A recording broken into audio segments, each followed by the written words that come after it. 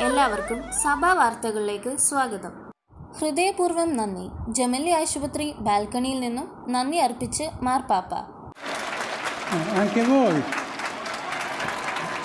Rome ഒരാഴ്ച മുമ്പ് നടന്ന കുടലിലെ ശസ്ത്രക്രിയയ്ക്ക് ശേഷം പൊതുജനങ്ങൾക്ക് മുന്നിൽ ആദ്യമായി പ്രത്യക്ഷപ്പെട്ട് ഫ്രാൻസിസ് പാപ്പ.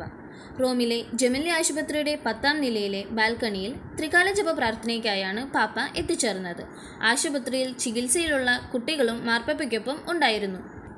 തന്റെ സന്ദേശത്തിൽ അനാരോഗ്യകാലത്ത് തനിക്കായി ആശംസകളും പ്രാർത്ഥനകളും നേർന്നവർക്കും ഡോക്ടർമാർക്കും മറ്റ് ആരോഗ്യ പ്രവർത്തകർക്കും ഹൃദയം കൊണ്ട് നന്ദി പറയുന്നതായി അദ്ദേഹം കൂട്ടിച്ചേർത്തു. അന്ന് വിശുദ്ധ ജോൺ പോൾ രണ്ടാമനെ ചികിത്സിച്ച അതേ മുറിയിൽ ഇന്ന് ഫ്രാൻസിസ് പാപ്പ ശസ്ത്രക്രിയയ്ക്ക് വിധേയനായ ഫ്രാൻസിസ് പാപ്പ സുഖം പ്രാപിച്ചു വരുന്നു വർഷങ്ങൾക്ക് മുമ്പ് വിശുദ്ധ ജോൺ പോൾ രണ്ടാമൻ പാപ്പയെ പ്രവേശിപ്പിച്ച അതേ ആശുപത്രി മുറിയിൽ തന്നെയാണ് ഫ്രാൻസിസ് പാപ്പയും സർജറിക്ക് ശേഷം വിശ്രമിക്കുന്നത് എന്നതാണ് ഏറ്റവും ശ്രദ്ധേയമായത്.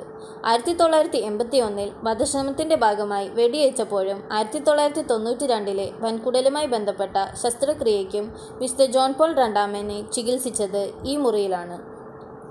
റോമിലെ ഏറ്റവും ഉയർന്ന കുന്നിൻ പ്രദേശമായ മോണ്ടോമാരിയോയിലാണ് വിശാലമായ ജമലി യൂണിവേഴ്സിറ്റി ആശുപത്രി സ്ഥിതി ചെയ്യുന്നത്. പാപ്പയ്ക്ക് ക്യാൻസർ രോഗികളായ കുട്ടികളുടെ രോഗസൗഖ്യാശംസകൾ. ജമല്ലി ആശുപത്രിയിലെ ക്യാൻസർ രോഗവിഭാഗത്തിൽ കഴിയുന്ന കുഞ്ഞുങ്ങളാണ് പാപ്പയ്ക്ക് രോഗസൗഖ്യം നേർന്നുകൊണ്ട് കത്തെഴുതി പ്രശസ്തരായത്. ഫ്രാൻസിസ് പാപ്പയ്ക്ക് ഇറ്റാലിയൻ ഭാഷയിലുള്ള കത്തിലൂടെയാണ് ഈ കുഞ്ഞുങ്ങൾ സ്നേഹപൂർവം ആശംസകൾ അറിയിച്ചത്. അങ്ങേക്ക് സുഖമില്ലെന്ന് ഞങ്ങൾ അറിഞ്ഞു. നേരിൽ കാണാനാകില്ലെങ്കിലും അങ്ങേക്കിതാ ഞങ്ങളുടെ ആലിംഗനങ്ങളും രോഗസൗഖ്യാശംസകളും എന്ന് കുഞ്ഞുങ്ങൾ പാപ്പയ്ക്കുള്ള കത്തിൽ കുറിച്ചു. അതിനിടെ റോമിൽ വത്തിക്കാന്റെ കീഴിൽ ഉണ്ണീശോയുടെ നാമത്തിലുള്ള കുട്ടികൾക്കായുള്ള ജെസു ബാംബിനോ ആശുപത്രിയിൽ ചികിത്സയിൽ കഴിഞ്ഞ ജൂലിയ എന്ന പെൺകുട്ടി പാപ്പയുടെ സുഖപ്രാപ്തിക്കായി പ്രാർത്ഥനാപൂർവം വരച്ച ചിത്രം മാധ്യമ ശ്രദ്ധ പിടിച്ചുപറ്റി. ആശുപത്രിയിൽ കഴിയുന്ന പാപ്പയുടെ കരം പിടിച്ചു നിൽക്കുന്ന ബാലികയാണ് ചിത്രത്തിലുള്ളത്. ആ ചിത്രത്തിൽ ഇപ്രകാരം കുറിച്ചിരിക്കുന്നു.